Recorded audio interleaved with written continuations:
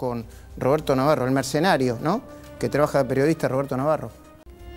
Y qué perversa es Cristina, ¿eh? Porque, por- perdón, Alberto es responsable también, ¿eh? no nos hagamos los distraídos, no es que es víctima solamente. Qué perversa que es Cristina, ¿eh? Porque por un lado le hace pelota la investidura presidencial al mandarle a, a estos perritos falderos, estos chicos grandes de la cámpora. Y por el otro dice, che, no respeta la investidura del presidente, ¿eh? Hablando 52 minutos con Roberto Navarro, el mercenario, ¿no? Que trabaja de periodista Roberto Navarro. Por eso desde el gobierno explican con una media sonrisa capciosa. Claro, se creen que están jugando al TEC. Que fue todavía más escandalosa la admisión de la Roque de que, a ver cómo lo dijo, no sé cómo lo dijo, pero lo que vos tenés que entender, no van a soltar ninguna de las cajas.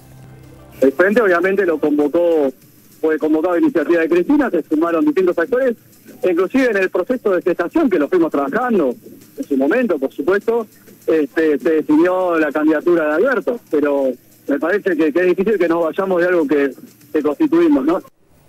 Y hoy la Roque volvió a hablar, hace muy poquito. Mamita, menos mal que decían que estaban en una tregua. La Roque hoy, hace horas, acusó al presidente de gobernar con un grupo de amigos. Mirá, escuchá. cuando uno asume responsabilidades importantes en cualquier ámbito de la política y sobre todo, bueno, a nivel de, lo que es la presidencia de la nación, tiene que saber que, que tiene que estar abierto a conducir al conjunto. Me parece que no se puede conducir a un grupo de amigos. Me parece que nos quieren poner el mote a nosotros, a la cámpora o a Cristina o al sector que representa a Cristina, de sectarios, cuando es lo contrario. Me parece que el sectarismo está en que- quienes quieren gobernar con, con cinco amigos.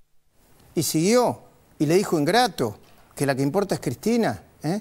Dos ministros del presidente dicen que Máximo y Cristina, cuando se juntan, bueno, Mariana Subi los conoce bien, se vuelven más delirantes y paranoicos todavía. Y preguntan, yo también me pregunto.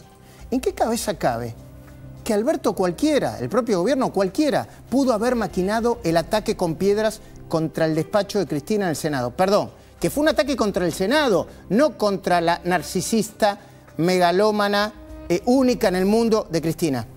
Al mismo tiempo, Cristina y Máximo no hacen más que auditar cada palabra que pronuncia Alberto Fernández cada vez que habla.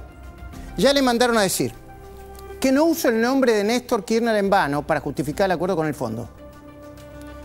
Que no le gustó que Alberto hablara de egoísmos y narcisismos. Que no le gustó que le dijera al mercenario que trabaja de periodista, Norberto Navarro, que él no tenía jefes. Y parece que cuando escucharon Cristina y Máximo que Alberto dijo que fueron las vueltas de la vida los que lo pusieron donde está, estallaron.